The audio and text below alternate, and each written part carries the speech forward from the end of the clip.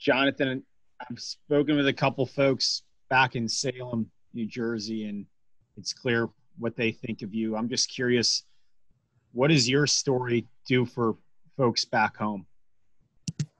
Um, really, uh, like you said, you, you spoke to people back home, and I'm pretty sure you can probably tell how it's like a tight knit, small town. So everyone knows everybody. So I just want to, you know, thank them, you know, for continuing to support me. I'm pretty sure you could probably feel it as well. I mean, you know, like I said, it's a small town, so when when a guy from a small town like that, you know, has the opportunity to, you know, play and you know the highest level football, it, it's a big deal. And you know, I just want to put my best foot forward and you know continue to do my best for those people back home who do support me.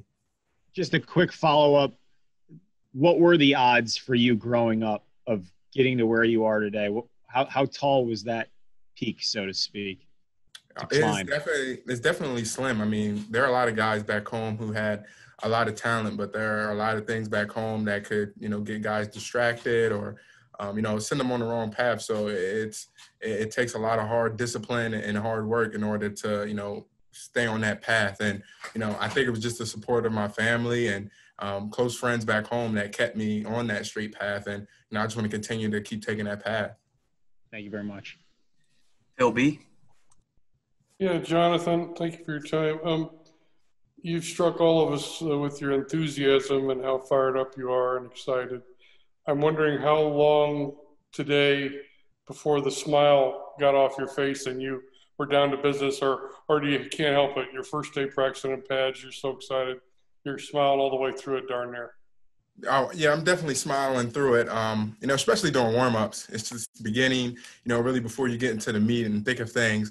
Um, and then as practice goes on, uh, you realize you you got to have a focus, and then the smile kicks back on after the play. But you know, every single play, you got to go in with a with a focus and a mentality in order to be able to perform at a high level. Uh, and uh, you know, once that play is over, I mean, you just think about how much fun you had on that last play, and then when the next play rolls around, it's time to lock back in again.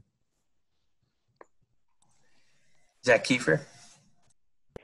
Jonathan, I would assume over the last couple of weeks or even today was one of the first times you've been able to take a handoff behind the offensive line and really see it and feel it. Today was the first time in pads. What was that like?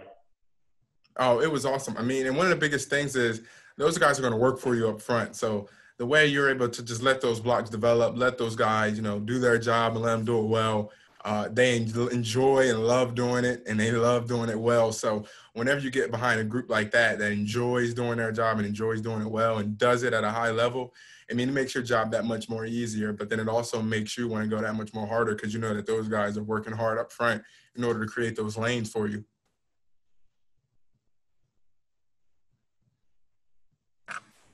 Uh, Stephen Holder. Hey, Jonathan. Um, you know, everybody talks a lot about your speed, which is real, but but you're a big, big guy, and I, I wonder just can you tell me just how much do you embrace the physicality and the physical part of this game, which is you know so important at your position?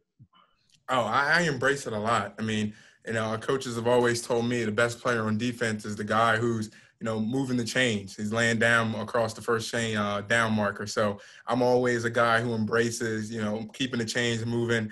And in order to do that, you have to be physical. You have to be willing to grind out some yards. Sometimes you get able to just hit a big one. But I think, you know, being able to play in between the tackles is, is a huge deal. And I take pride in that. Joel Erickson. Now that you're here, what's it been like kind of uh, building a relationship with Marlon Mack?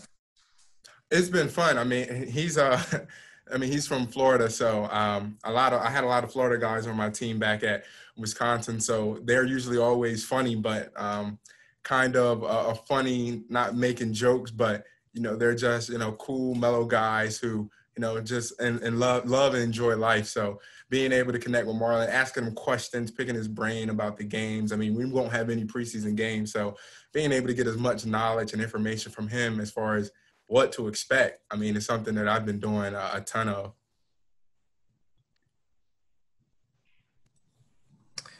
Ken Sterling. Hey, Jonathan. What's the difference between a Wisconsin practice and a Colts practice? Uh, well, definitely one of the biggest things between these two practices is uh, you, re- you really got to know, you know, where you are, what are you doing, um, because you're rolling. You know, a lot of the times, you know, at, at school, you know, it's still college, so you might have some freshmen or some guys who, you know, might not know where, you know, special teams punt individual is or where, you know, the running back individual is. But, you know, here, you know, everything is put in place and laid out before practice so everyone knows where to go so that when practice hits, you're rolling, you're rolling at a high pace, you're playing at a high level, and we're able to get the most out of the two hours, hour 45, however long we're out there, you're able to get the most of it. All right, we'll do two more. Larry Overton. Jonathan, your impressions so far of working with Tom Rathman and how much you can just begin to see the benefit that you have of a coach that brings that level of knowledge and intensity out to practice each day.